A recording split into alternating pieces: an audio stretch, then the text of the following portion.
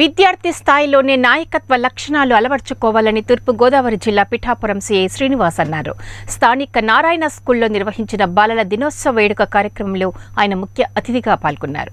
ఈ సందర్భంగా సీఐ శ్రీనివాస్ మాట్లాడుతూ విద్యార్థులు అన్ని రంగాల్లో ప్రతిభావంతులుగా రాణించి ఉన్నత శిఖరాలను చేరుకోవాలని కోరారు. ఈ కార్యక్రమంలో town CI Shankarrao councillor Sujatha న్యాయవాది శ్రీను విద్యాసంస్థల ఏజీఎం రాఘవేంద్రరావు పాఠశాల హెచ్ఎం షేక్ అఫ్రోజ్ ఇతరులు పాల్గొన్నారు.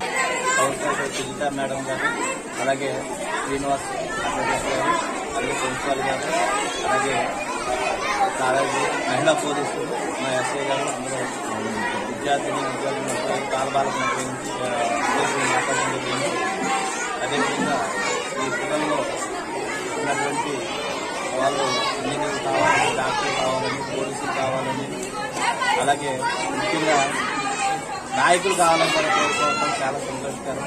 వాళ్ళకు ఎప్పటి నుంచి